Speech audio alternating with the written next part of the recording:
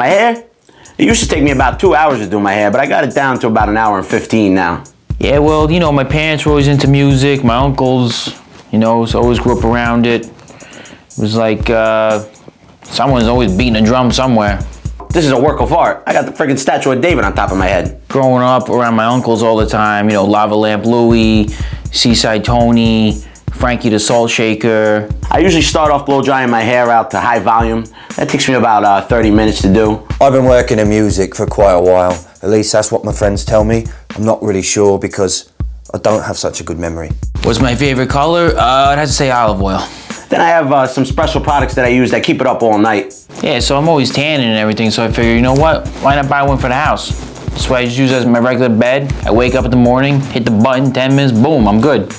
Then to finish it off, I uh, spray it with this stuff that gives it a really nice sheen. This way when I walk into the club, you know, it shines like a friggin' disco ball. I mean, the girls can't help but look at me. I've worked with tons of acts. I've been doing work all over the world. I've worked with uh, Samurai Twins over in Japan. I've worked with uh, Chubby Charlie, Egyptian clarinet player. You may have heard of him. Uh, what's my favorite tanning lotion? Uh, I'd say olive oil. I use a special shaving cream that uh, gets my skin silky smooth. I mean, I use it everywhere. My face, my chest, my balls, my ass. Uh, what's my favorite cologne? I'd say olive oil. I work with Camel Toe, Afghan rapper.